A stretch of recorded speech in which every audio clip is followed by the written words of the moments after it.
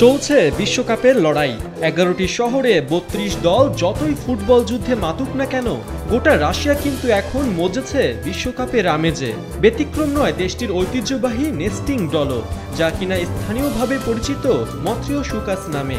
কাঠের তৈরি এই পুতুলগুলোর বিশেষত্ব হলো, যদি একটি পুতুল খুলে ফেলেন, তাহলে ভেতর থেকে বেরিয়ে আসবে ছোট ছোট আরও অনেকগুলো।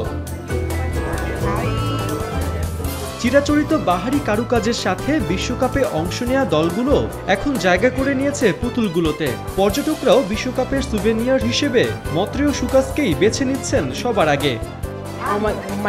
কলম্বিয়া আমার প্রিয় দল আর পুতুলটিতে আমার দুই পছন্দের ফুটবলার রদ্রিগেজ এবং রাদামেল ফ্যালকাও আছে। এক কথায় এটি অসাধারণ।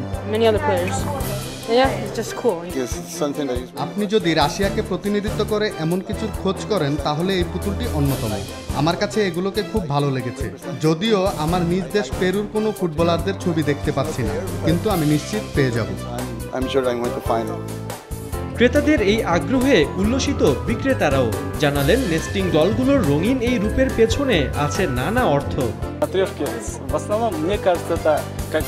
মাত্র সুখাস আমার পরিবারের মতো। বলতে পারেন, এটা একটা প্রতীক। আপনি এটি খুলবেন আর পুরো পরিবার এসে হাজির হবে। পুতুলটির অনেক অর্থ আছে, নানাভাবে একে ব্যাখ্যা করা যায়। ধারণা করা হচ্ছে, প্রায় ছয় লাখ পর্যটক বিশ্বকাপ উপলক্ষে এবার রাশিয়াতে জড়ো হবেন। এদের অনেকেই হয়তো বাড়ি ফিরবেন।